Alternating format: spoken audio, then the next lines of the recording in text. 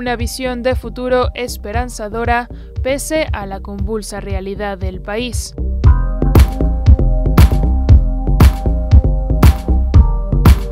es lo que presenta el conjunto de obras de la Bienal del Museo Whitney de Nueva York, que abre sus puertas hasta el 22 de septiembre.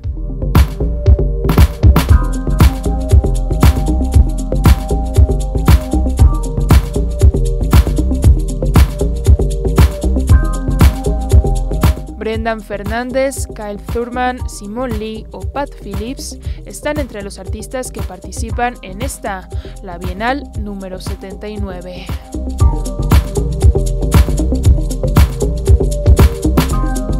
La muestra también tiene influencia latinoamericana con una obra de Agustina Woodgate nacida en Buenos Aires. Se titula National Times y está compuesta por decenas de relojes de pared analógicos que funcionan a las órdenes de un solo reloj digital. El puertorriqueño Daniel Lind Ramos y el colectivo mexicano Los Ingrávidos también ocupan un espacio en las galerías del Whitney. Esta bienal es una de las muestras más importantes del panorama artístico estadounidense desde su creación. A través de los años ha catapultado a figuras de la talla de Georgia O'Keeffe o Jackson Pollock.